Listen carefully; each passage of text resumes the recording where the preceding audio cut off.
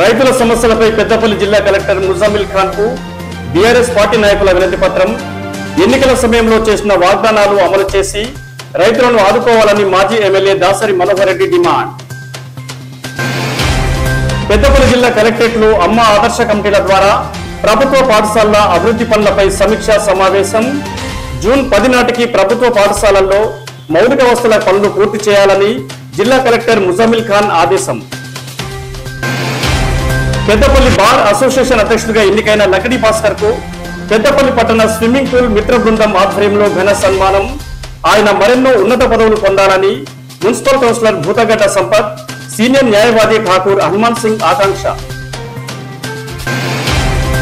పెద్దపల్లిలో పార్లమెంట్ ఎన్నికలపై పీఓలు ఏపీఓలకు శిక్షణ కార్యక్రమం పార్లమెంట్ ఎన్నికలు సమర్థవంతంగా నిర్వహించేందుకు శిక్షణ కార్యక్రమాన్ని సద్వినియోగం చేసుకోవాలన్న ఆర్డీఓ గంగయ్య.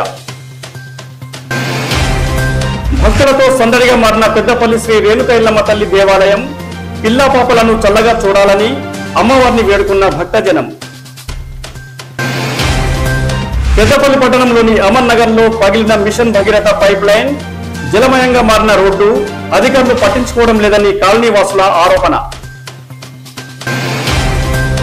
ఎండ దెబ్బ తగలకుండా ప్రజలు అప్రమత్తంగా ఉండాలి జిల్లా కలెక్టర్ ముజామిల్ ఖాన్.